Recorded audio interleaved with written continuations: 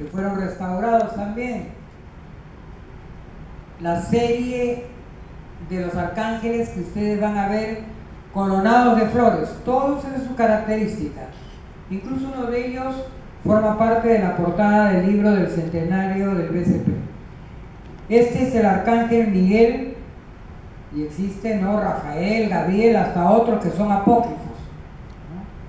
Y que tienen por característica la corona de flores y que son obra de Bartolomé Román. ¿Quién es Bartolomé Román?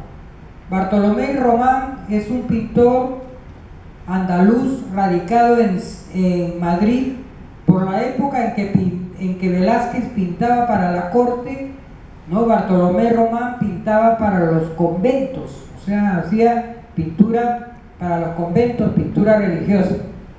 Y este eh, Bartolomé Román hace, por encargo de los jesuitas, estos cuadros para Lima que están colgados en la iglesia de San Pedro. Y hay, existe dos series similares en Madrid que las he podido ver y le digo, las de Lima no tienen nada que envidiarles a las que en Madrid. Incluso he visto que algunos son de mayor calidad acá. Existe una serie de estos arcángeles en las descalzas reales de Madrid y en el convento de la Encarnación de Madrid, ¿no? Una serie de este tipo de arte.